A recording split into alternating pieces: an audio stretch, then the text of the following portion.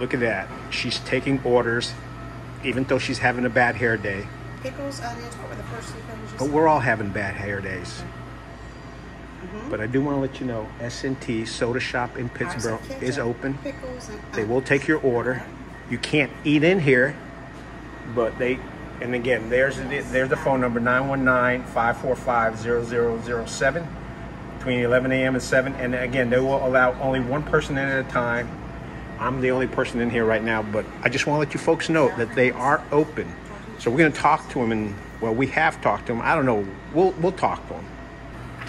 All right, we- we're here with the Oldhams and the S&T Soda Shoppe. You folks are open, right? We are open. We've been open the entire time. We open uh, Tuesday through Saturday, 11 a.m. to 7:30.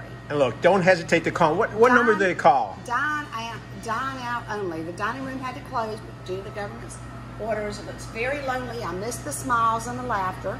But we do anything that we can do in the dining room before we can do for takeout. Yes, even the banana splits. Even a banana Even split. banana Holy splits. moly! You just have to be careful holding that container.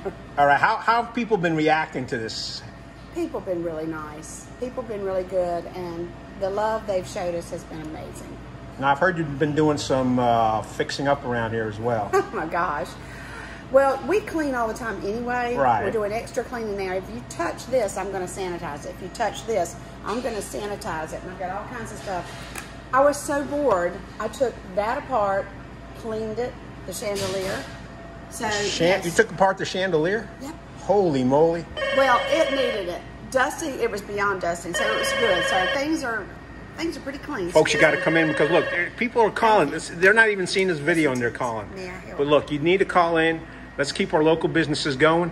And I want to thank the Oldhams for spending a minute of their time with us downtown Pittsboro.